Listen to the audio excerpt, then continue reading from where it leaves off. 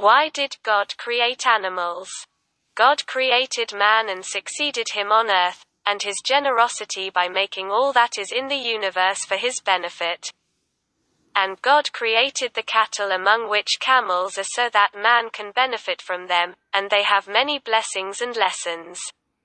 Where God Almighty says, Do they not look at how camels were created? In cattle and animals there are many benefits for a person, he has houses from their skins, and from their wools clothes, and he feeds with their meat and drinks from their milk. And uses them for riding and carrying weights, and he takes them for decoration. The cattle he created for you has warmth and benefits, and from which you eat, God created many types of animals. And man may think that there are animals that do not benefit humans but cause harm to him.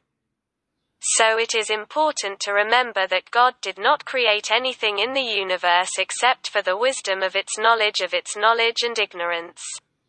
From their ignorance. And the animals have many benefits that may be mentioned. Thousands of camels in Australia are being killed for causing the destruction of some villages.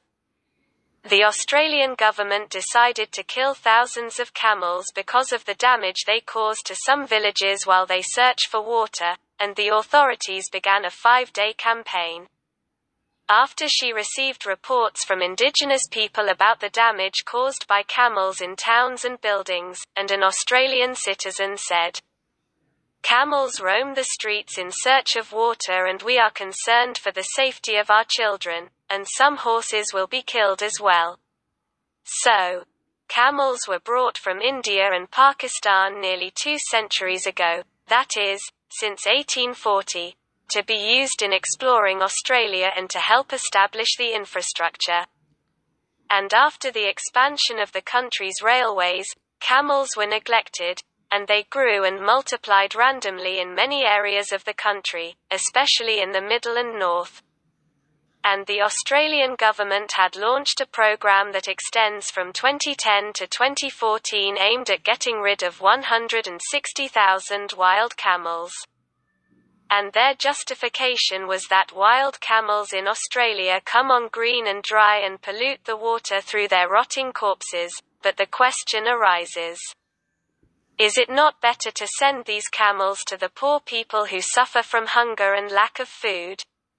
Is this not a lack of truth as they fill the world with noise while singing about animal rights? And because of that, God punished Australia by afflicting it with fires that lasted for more than six months, which wiped out the green and the ground, killed the animals and turned many forests into desert lands, and also inflicted them with the bugaboo, which ignites the fires in the forests. So that they were unable to control it with all means and equipment.